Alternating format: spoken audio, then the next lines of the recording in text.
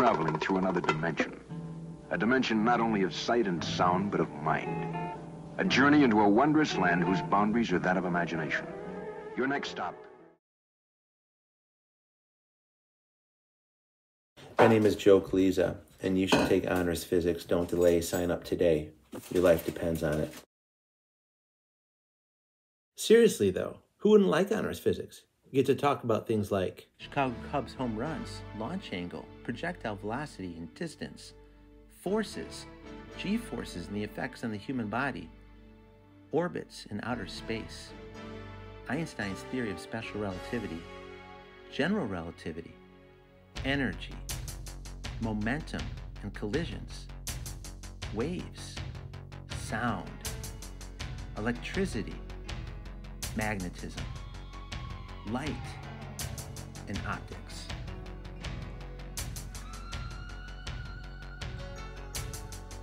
Reason number one, you're not sure, but there's a chance you might be interested in the field of engineering.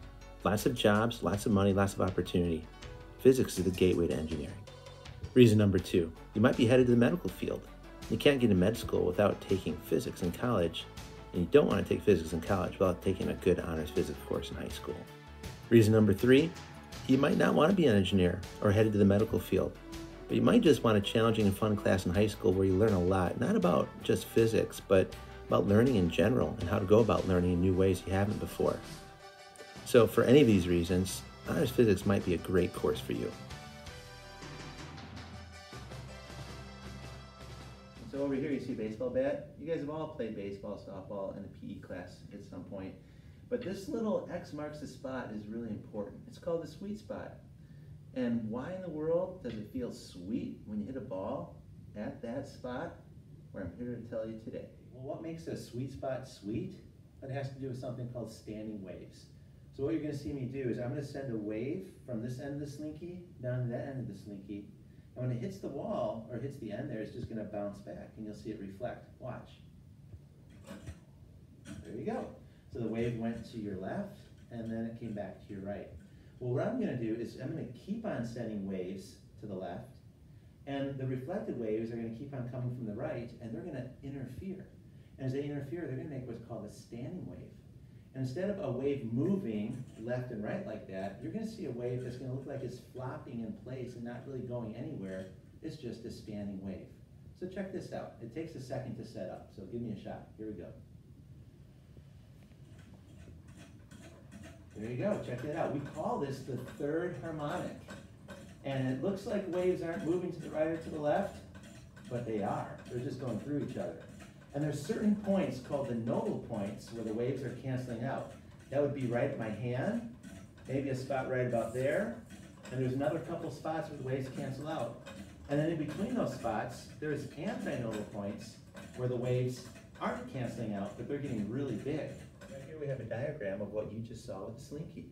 We have what's called the third harmonic. I have three areas of constructive interference, which are called antinodes, and I have four areas of destructive interference, which are called nodes.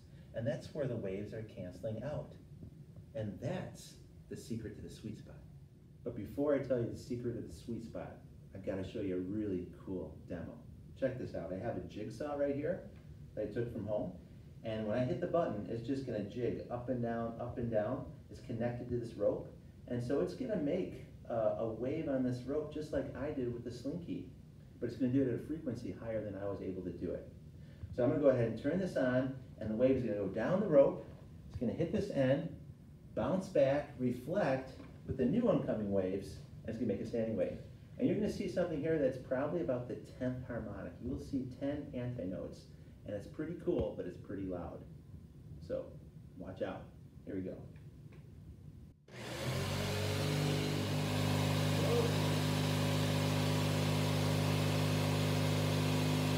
That was cool. Wait till I see what the light's off in a strobe light.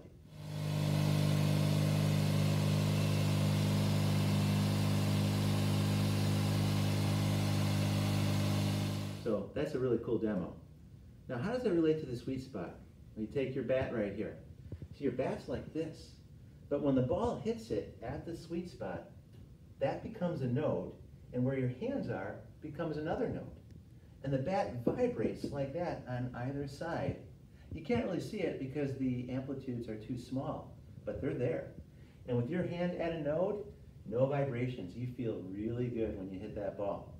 But it only happens when it hits there. It's not true just for a baseball bat, but for a tennis racket as well. So that's physics.